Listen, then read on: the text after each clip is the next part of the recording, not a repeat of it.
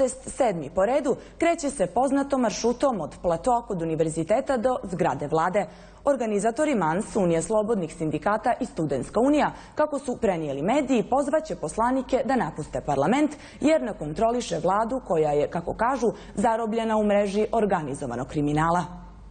Vrlo brzo će sa platoa kod Univerziteta Crne Gore krenuti sedmi građanski protest u organizaciji MANSA, Unije slobodnih sindikata i Studentske unije. Građani će proći pored, kako kažu, stubova sistema i zatražiti ostavku vlade ispred e, te zgrade. Sa nama je Ognjen Jovović ispred e, Studentske unije. Ognjene, šta očekujete od današnjeg protesta?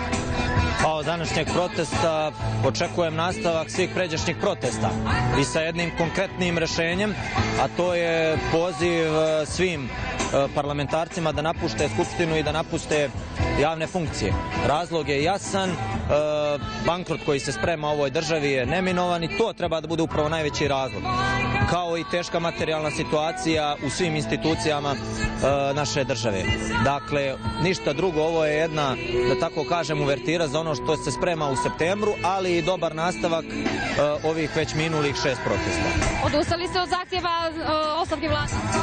Ne, i dalje ide ostavka vlade, to se podrazumijeva naravno, ali da bi se desila ostavka vlade, onda moraju i politički uz normalno europske, to jest spoljne faktore da nam pomognu u tome. Mislim da smo mi napravili jednu dobru stvar, a to je da smo za ovih šest protesta okupili i stvorili jednu sjajnu energiju, jedan sjajan ambijent.